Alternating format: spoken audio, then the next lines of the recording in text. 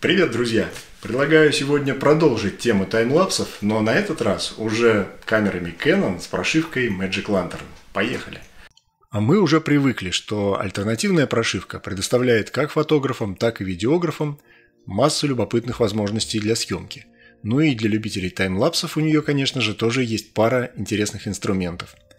Уточню, что я снимаю на камеру Canon 7D и буду рассказывать о своем опыте на примере именно этой камеры. Я пользуюсь двумя способами съемки таймлапсов с прошивкой Magic Lantern, и сегодня я расскажу об одном из них. Первый способ я называю облегченной версией таймлапса, так как это просто частный случай обычной видеосъемки, но с принудительно уменьшенной частотой кадров при помощи функции FPS Override – Frames per Second Override, что позволяет получить в итоге 50-кратный прирост скорости протекания событий, чего вполне достаточно для определенных сюжетов, я считаю. Второй же способ – это уже полноценный таймлапс по всем правилам в режиме фото с использованием встроенного в прошивку интервалометра и модуля тихой съемки, что позволяет снимать в полном разрешении матрицы с широким диапазоном настроек и дает неограниченные возможности, при этом не амортизируя механический затвор камеры. О нем мы поговорим в следующем видео. Прежде всего, преимущество первого облегченного способа. В чем они? В том, что, во-первых, этот способ позволяет с минимальными настройками переключиться со съемки обычного видео на съемку таймлапса и назад, что очень удобно и быстро. Ведь многие люди не случайно берут для таймлапсов с собой даже отдельную камеру, ибо процесс довольно сильно отличается от обычной видеосъемки.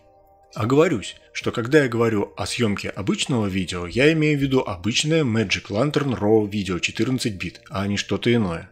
А во-вторых, в результате такой съемки мы получаем стандартный MLV файл – относительно компактного размера, который мы можем обработать в любой программе-конвертере, и процесс обработки ничем не отличается от обычного видеофайла, кроме повышенной скорости протекания событий. С другой стороны, есть и недостатки. Во-первых, мы сильно ограничены в выборе настроек таймлапса.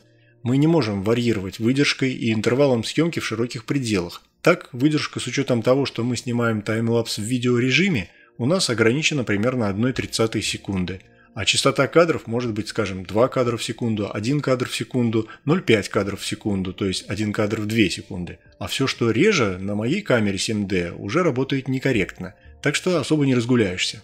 Во-вторых, и детализация ролика на выходе, увы, не слишком высока по меркам таймлапса. К примеру, если мы снимаем в режиме считывания с полной матрицы, то на моей камере разрешение ролика не дотягивает даже до Full HD, и составляют 1728 на 972 точки. Но если переключиться на съемку в режиме кропа, то можно получить до 2,5К, что уже гораздо интересней. Но за такую детализацию мы расплачиваемся суровым кропом 3.36, что превращает мой суперширик Sigma 816 мм в банальный китовый зум, начинающийся с 28 мм примерно. Однако, если вас не испугали эти ограничения, то давайте посмотрим на практике, что и как нужно настроить для непосредственной съемки этим упрощенным способом с принудительным урежением частоты кадров посредством функции FPS Override.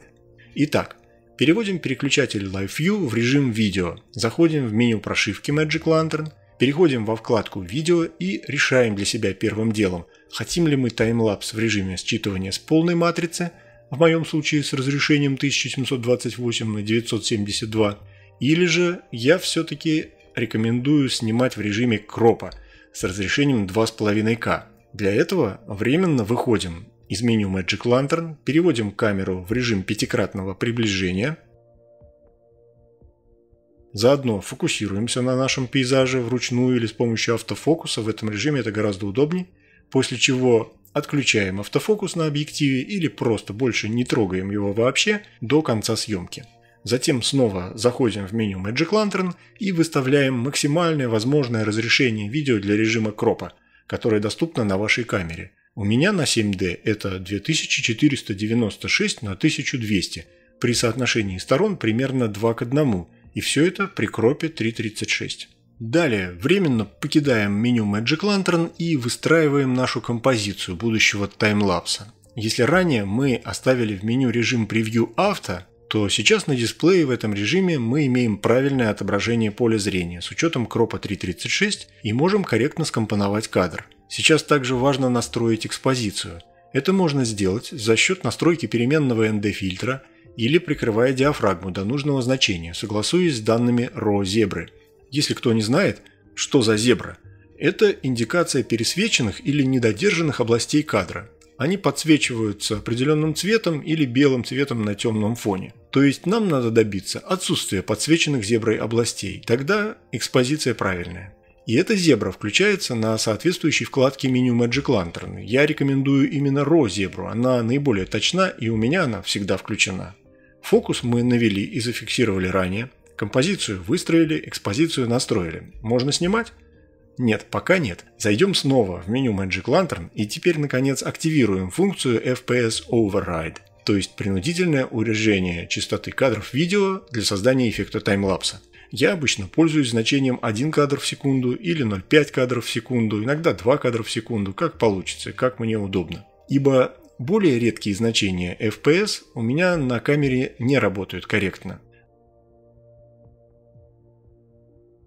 Возвращаемся в режим Live View и видим, что наша картинка замерла, и ее обновление теперь происходит крайне медленно. Что неудивительно, это теперь происходит один раз в 2 секунды, а не 25 раз в секунду, как обычно при живом превью.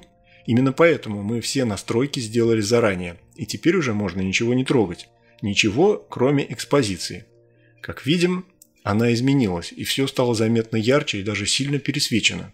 Это говорит о том, что все-таки на самом деле выдержка не зафиксирована на значении 1,30 секунды, как показывает нам камера, а меняется в зависимости от выставленной частоты кадров при помощи параметра FPS Override. Чем реже мы ставим FPS, тем сильнее у нас пересвет, значит выдержка становится длиннее. Это надо учитывать, но нам это даже на пользу, ибо передача движения в кадре будет выглядеть более естественно за счет большего смаза, или, как говорят англоязычные, motion blur.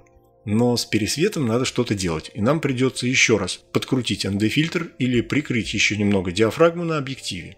Если надоедает ждать, пока картинка обновится, можно зайти в меню Magic Lantern, временно отключить FPS Override, подкрутить фильтр или диафрагму, потом снова включить FPS Override и добиться путем нескольких таких итераций, чтобы наконец отсутствовали какие-либо явления пересвета. Все, можно нажимать запись и процесс пошел. Если снимая в видеорежиме в разрешении 2,5К с обычной частотой кадров 24-25 кадров в секунду мы сталкиваемся с непосильным для камеры и карты памяти потоком данных, что приводит к пропуску кадров и прерыванию записи буквально через несколько секунд, то в данном случае с принудительно заниженной в десятки раз частотой кадров мы не имеем никаких проблем с потоком данных и можем снимать сколь угодно долго, пока камера не перегреется или нам самим не надоест. Результат получается в виде обычного MLV файла, который мы конвертируем в любой удобной нам программе, например MLV App, и получаем на выходе вполне неплохого качества таймлапс. На этом все на сегодня. Продолжим разговор в следующей части. Всем удачи и творческих успехов. Пока!